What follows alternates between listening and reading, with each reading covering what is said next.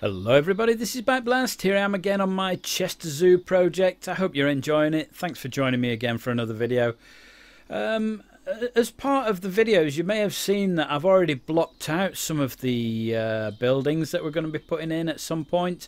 Um, for example, this is the new, or fairly new Madagascar area, and there are there's some staff buildings and things like that knocking about that I've, I've already, you know, pre-planned. And um, there are three specific buildings which are going to be very, very difficult to do. And um, the first one of those is going to be June's restaurant, which is going to go here.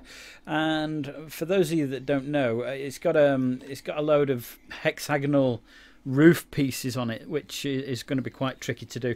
So, as part of my work when I was blocking out the area, I um, I, I had a look at the rough size of, of the hexagons that I wanted, and I, I pre-built those as well, uh, which is fortunate because that took me a long time to get the scale right.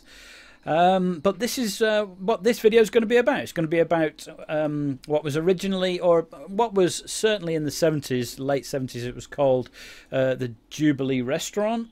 And then uh, later, uh, in the last sort of 10 15 years, it got changed to uh, June's food court after June Mottershead, the uh, daughter of uh, of the guy that started the zoo, and um, this is where it sits. And we're going to be starting building this. So I hope you enjoy the video, and I'll um, I'll, I'll I'll let you know what's going on as we uh, as we progress. But here we go.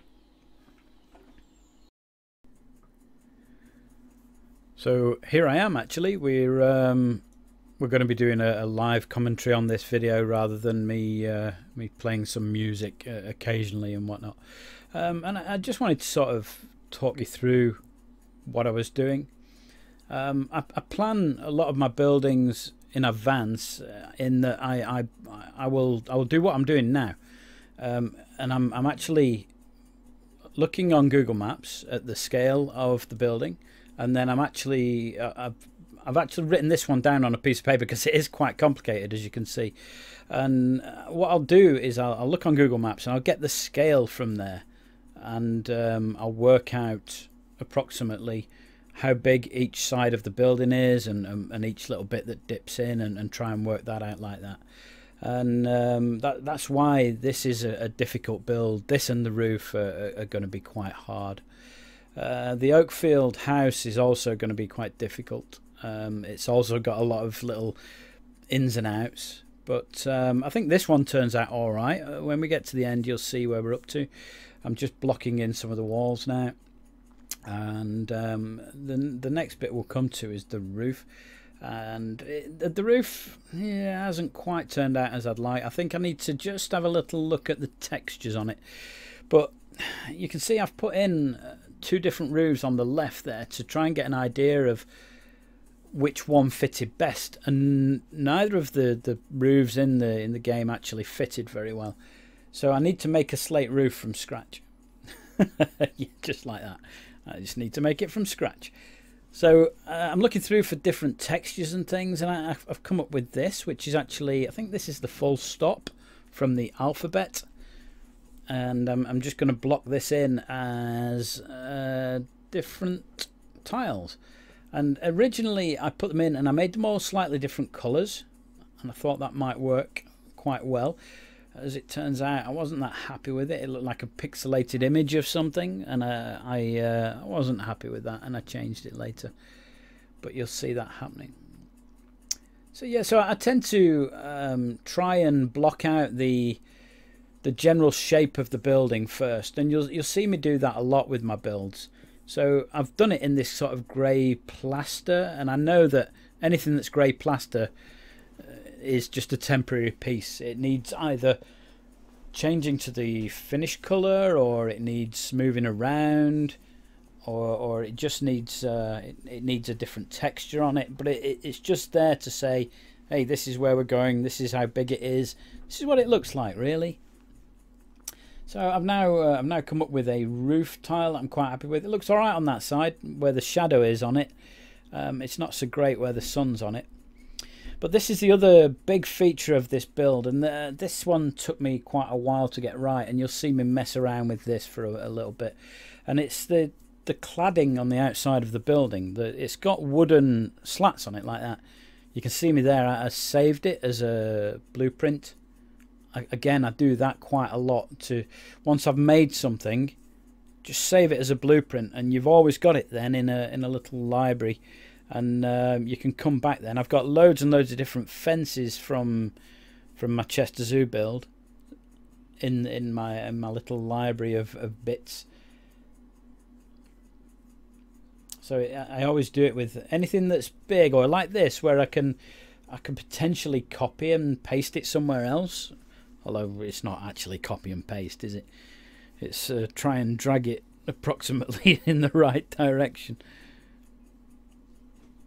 But there you go. It's um, it actually turns out quite nicely. This I'm quite pleased with it. The uh, the cladding works very well. I'm just changing the colour on the bottom. It didn't stand out so well.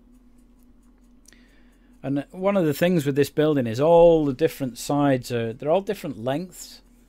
So I've got a big four meter wall, I've got a seven meter stretch, an eight meter, six meter, two meters. They're, they're all in there. They're, everything's in there.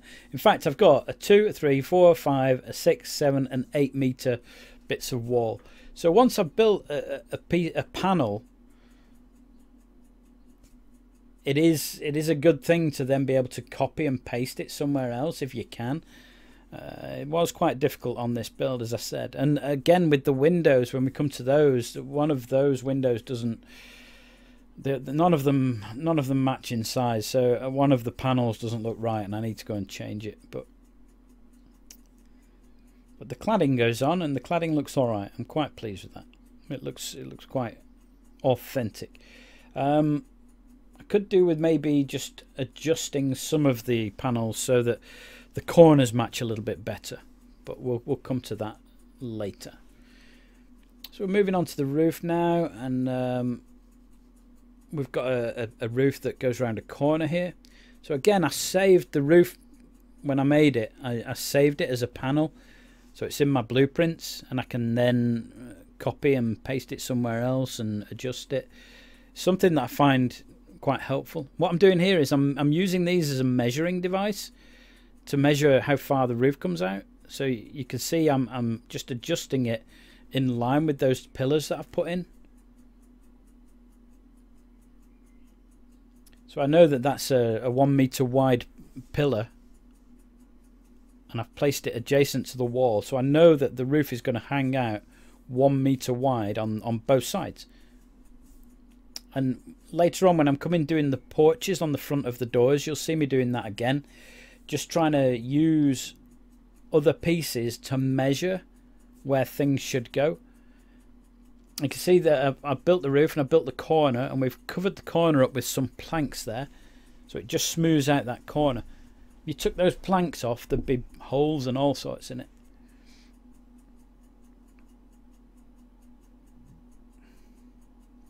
again with a lot of this build uh, the the pieces that come with the game don't fit the building so I'm having to either use pieces that don't normally go in that sort of a place or use things to to look like something else or use smaller versions of something but lots and lots and lots of cladding to go on this um, I, I want to just say as well that the um, this isn't the complete build. So this is part one of, I presume, two. I haven't made the others yet, so I don't know. Um, this does the main building. In fact, it, does it does about half of the main building. um, because the the build just it's just such a big build. Um, the the video that you're watching is just under 24 minutes long, but the amount of work I've put in is well over six hours.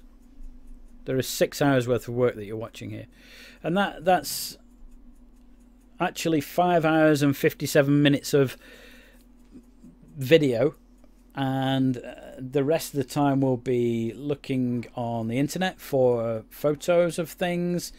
Uh, it'll be looking on various um, zoo chat channels uh, to try and get information about things, or or just uh, just asking people, you know, what what's this building, or what does it look like around the back, or you know, does anybody know what this is now called, or and it's just getting the information right. Again another couple of bespoke roofs. The the pitch angle on this one and the pitch angle on the one on the side are different.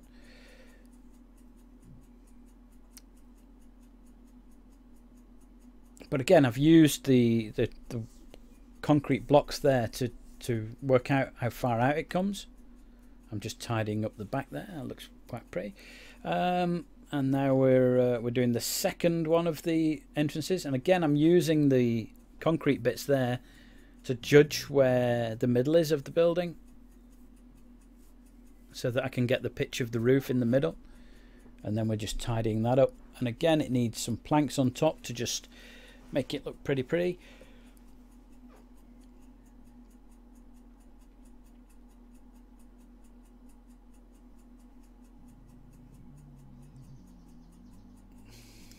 are just measuring again how far out does it come and then delete everything that sticks out further than that. But there we go that looks quite nice. So we're now onto the windows and uh, the video jumped forward a little bit there. Um, I'd already built one window off camera and then realized that I wasn't recording. Um, the first one turned out alright I like the first one but this second one it's now a three meter stretch so I can't use the full panel and I've got to make another panel. And because the glass pieces don't fit in here without overlapping I've had to sort of tweak some of where the uh, the verticals are and I, I, don't like it as much because the windows are slightly narrower than the other windows. And I I need to go back and have another another play around with it because I'm not that keen on it Uh, I'm not. I'm not actually a perfectionist with it. I, I, I like to get it fairly close, though. I mean, the fact that I've spent at least six hours on this and just just video time, six hours worth, would tell you that I'm I'm putting an awful lot of time into these videos. And I'd say I'd say six hours is about an average video. I, I'd say that that is, you know, when I've built the lion enclosure and and the penguins, I'd say I'm spending six to eight hours on a video and then of course you've got uh, things like this where I'm I'm actually having to put the video together. Uh, and on this particular one I'm doing uh, a talk through of it. But on other videos I have to find music and I have to uh, put captions on and things like that. So I think it's nice to do slightly different things each time. Sometimes do the music sometimes do me talking so what we're doing now is we've got all the gutters going on. Um, there's quite a lot of gutters on this on this building, and um, an awful lot of downpipes. And I think these turn out quite well. I, I like how these look at the end. You got two different uh, downpipes there coming into one pipe, or two different uh, gutter things coming into one downpipe. I think that's the terminology. But there you go. So yeah, I, I, like the way that these turn out. So um, I've been thinking as well uh, uh, quite a bit about what to do after my Chester Zoo build. I mean, I'm nowhere near finished on it. There's uh, quite a lot of zoo to do. I mean, some of it will be fairly easy paddock type things, but I know in the the islands area that's gonna there's gonna be a lot of work in that.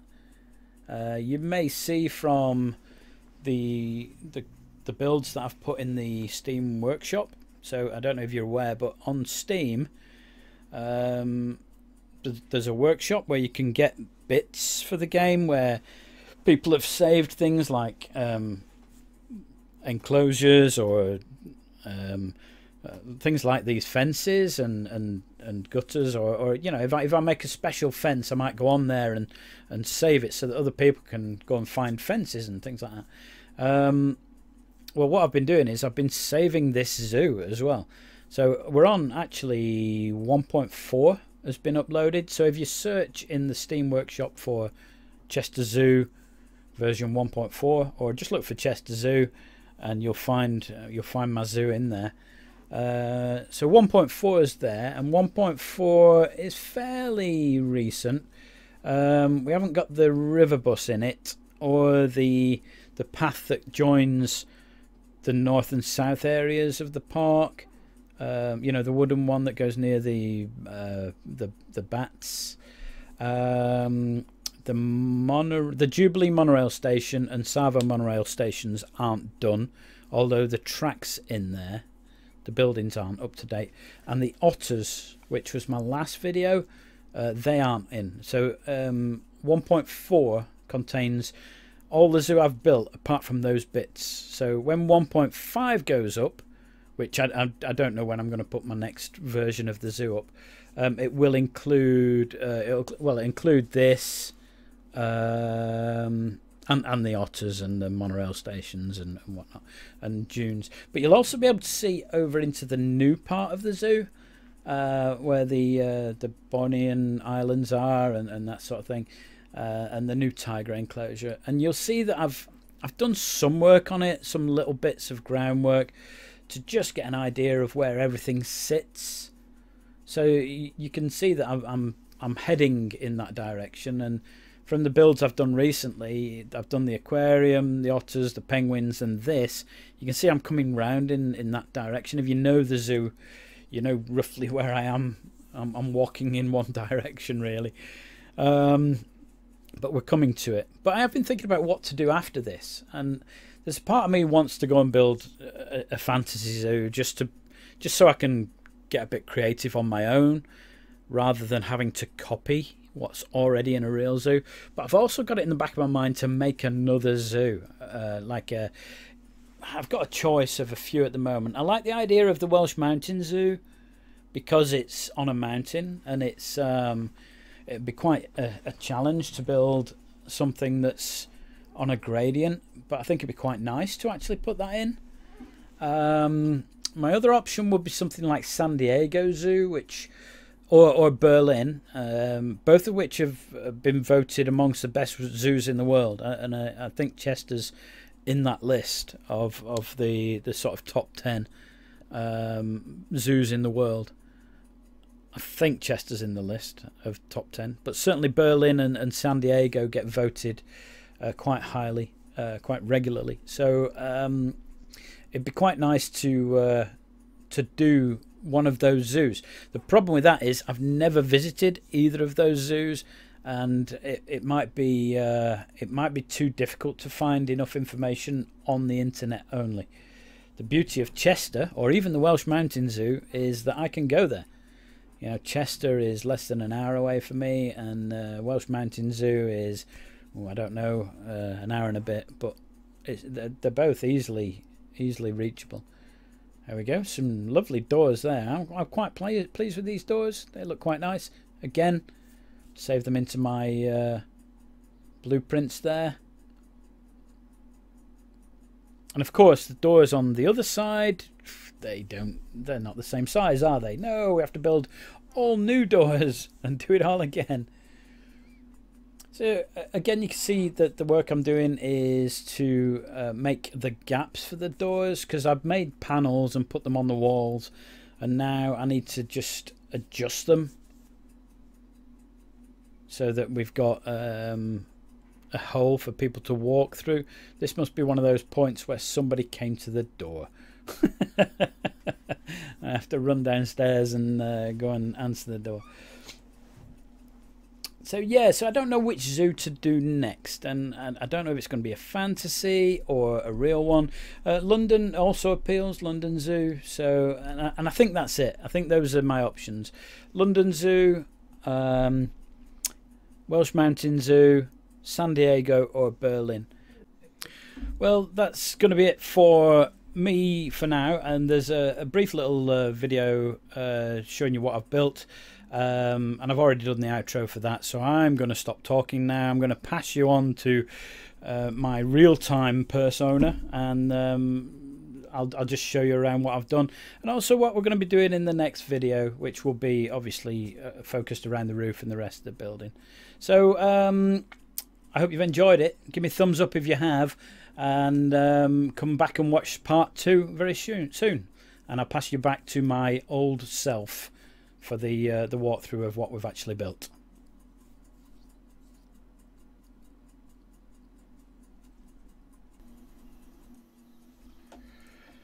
Uh, well, there you have it so far, folks. Um, what I'm going to do now is I'm going to um, finish this video uh, because we've got the main building sort of looking all right. I'm, I'm quite pleased with the way it looks.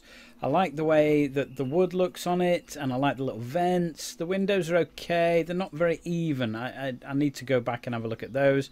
Um, the doors are good, and and I, yeah, I think I think it's pretty good. I think we're doing all right with that. Um, the two main sides that the public visit are this one and this one, of course. Um, with the there's a children's play park up here, and um, this side is a little more sparse in my uh, in, in, the knowledge that I've got of what it is. But I, I, think I can make a rough estimate of how it looks down there. It looks like we've probably got windows there, and this is probably going to be the same. I don't know about this or this bit, but we'll see. There's another building that goes on the back of it, and that's going to be in a later video. So what I'm going to do is I'm going to leave it there for this video as a, a part way through, so you can see where I'm up to, see how things are going. The next bit is going to be the roof. So if we have a quick look at this, um, this roof actually sits somewhere approximately approximately there that sort of area. And um, it, has got some domes on it, hexagonal domes. Uh, which is which? Uh, well, I say dome, a dome and a hexagon. Yeah, they're different. I know. Um, it's got some. Um, it's got a pointy roof, and they're all hexagons, and it's um, it's in that shape. So I need to work out how to do that. Now I've already started doing that and I just wanted to show you this bit before I actually get on to the next video. So what I did was I took some bamboo and I made a scaffolding out of it. So I, I looked at where all the corners were and I, I made lines across from one corner to the other and um, from one corner to the next and one corner to the next so that we had um, a, a, a ever decreasing um, web. It's a big web. So you can see that when I've got the lines going across here, I've then put other bamboo in across. It, it, it all worked out so that I got um, I got to the point where I had this lovely little hexagon in the middle down here that you can't really see very well but it's, it's just down there there we are there we have it and then I put uh, one bamboo on top of each of the points so that's where it's going to go to because it doesn't go to a point it goes to a, a kind of a little cupola on the top, a little um, a little kind of uh, hat it has on top. Um, and all these are uh, they're a kind of red terracotta tile. Um, so I did that, and then I put the big long bamboo poles in that go to the corners. So I know the shape that I'm doing. I know the height that I'm doing. That looks pretty good. It looks about right.